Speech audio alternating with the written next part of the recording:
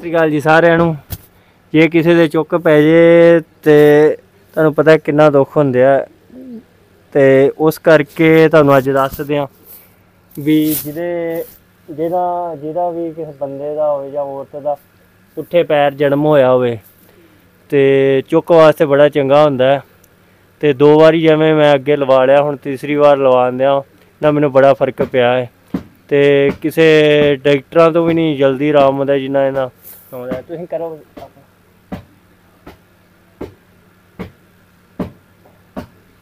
ਐਂ ਬਸ ਆਪਣਾ ਪੈਰ ਲਵਾਉਣਾ ਹੈ। ਸਵੇਰੇ ਸ਼ਾਮ ਤੇ ਅਗਲੇ ਦਿਨ ਇੱਕ ਵਾਰੀ ਹੋਰ ਲਵਾ ਦੇਣਾ ਤੇ ਇਹ ਉਹਨਾਂ ਨੂੰ ਇਹ ਮਤਲਬ ਜਿਨ੍ਹਾਂ ਦਾ ਪੁੱਠੇ ਪੈਰ ਦਾ ਜਨਮ ਐਨੇ ਨਾ ਉਹਨਾਂ ਦਾ, ਜੋ ਕਿ ਕਮਰ ਤੇ ਜਿਹੜੀ ਤਕਲੀਫ ਹੁੰਦੀ ਹੈ, ਉਹਦਾ ਸੈੱਟ ਹੋ ਜਾਣਾ ਚੁੱਕ ਕਿਤੇ ਵੀ ਪੈ ਸਕਦੀ ਹੈ। ਹੱਥਾਂ, ਪੈਰਾਂ ਤੇ ਤੇ ਇਹ ਜੋ ਕਿ ਅੱਗੇ ਵੀ ਮੈਂ ਉਪਯੋਗ ਕੀਤਾ ਹੈ, ਜੇ ਤੁਹਾਨੂੰ ਵੀ ਪਤਾ ਹੈ ਤੇ ਮੇਰੇ ਨਾਲ ਜਾਣਕਾਰੀ ਸ਼ੇਅਰ ਕਰਿਓ। ਵੀ ਇਹ ਆਰਾਮ ਆ ਜਾਂਦਾ ਜਿਹਦੇ ਪੁੱਠ ਪੈਰ ਜਨਮ ਹੋਇਆ ਹੋਵੇ, ਭਾਵੇਂ ਬੱਚਾ ਹੋਵੇ, ਭਾਵੇਂ ਵੱਡਾ ਹੋਵੇ, ਭਾਵੇਂ ਛੋਟਾ ਹੋਵੇ, ਤੇ ਤੁਹਾਡੇ ਵੀ ਕਿਸੇ ਨੇ ਐਵੇਂ ਕੀਤਾ ਹੋਵੇ ਉਪਯੋਗ ਤੇ ਦੱਸਿਓ ਜਰੂਰ। ਥੈਂਕ ਯੂ ਧੰਨਵਾਦ।